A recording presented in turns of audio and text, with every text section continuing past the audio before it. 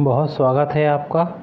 आप देख रहे हैं माई ज्योतिष और मैं हूँ आपके साथ शोभित मिश्र। मित्रों, देवगुरु बृहस्पति 20 जून रविवार से कुंभ राशि में वक्रिय होंगे।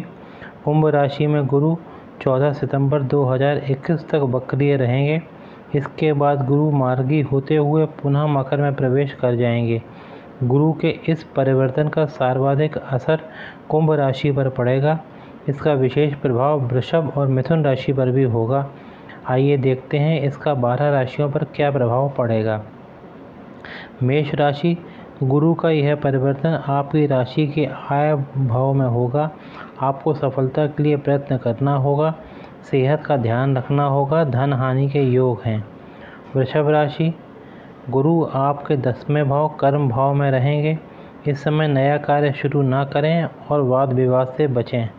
मिथुन राशि, इस समय गुरु आपकी राशि में नौवें भाव यानी भाग्य भाव में रहेंगे। सफलता के लिए प्रयत्न करना होगा। सेहत का भी ध्यान रखना होगा। धैर्य से काम लें। कर्क राशि, रोगों से बचने का प्रयास करें। सेहत में लापरवाही बिल्कुल भी ना बरतें। अपने क्रोध पर नियंत्रण रखें। सिंह राशि, दाम्पत्य जीवन में कष्ट होगा। अनावश्यक वाद विवाद से बचें। कन्या राशि, सेहत का ध्यान रखें। शत्रु पराजित होंगे, परिश्रम अधिक करना होगा।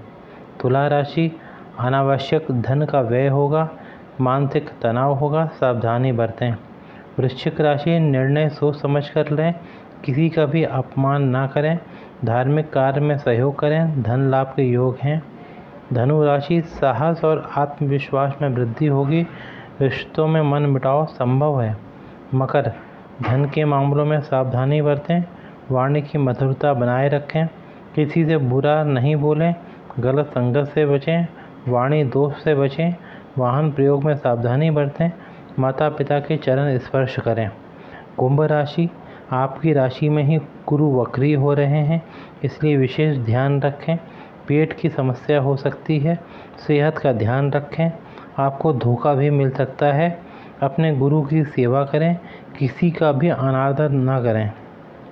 मीन राशि, शिक्षा से जुड़े कार्यों में सफलता मिलेगी, विद्यार्थियों को लाभ होगा, अहंकार से दूर रहें, इस समय ना किसी से कर्ज लें और ना ही किसी को कर्ज दें। अब कुछ उपाय बता रहा हूँ, जिनको यदि आप करते हैं तो गुरु गुरु के जो भी अशुभ प्रभाव हैं, उससे आप बच सकते हैं। नित्य पानी में हल्दी डालकर स्नान करें, किसी बुज़ुर्ग ब्राह्मण की सेवा करें, गुरुवार का व्रत यदि रख सकते हैं तो रख लें। भगवान विष्णु के नित्य दर्शन करें, पीले चंदन और केसर का तिलक अपने ललाट पर करें, केले के वृक्ष की नित्य पूजा करें, मंदिर में पीली मिठाई का भोग लगाएँ और मंदिर में चने की दाल का दान करें। यदि यह उपाय आप करते हैं तो गुरु के अशुभ प्रभावों से काफ़ी हद तक आप बच सकते हैं। आज के लिए बस इतना ही। मुझे आज्ञा दीजिए, भगवती आप सब पर अपनी दया, अपनी कृपा बनाए रखें। नमस्कार। धन्यवाद।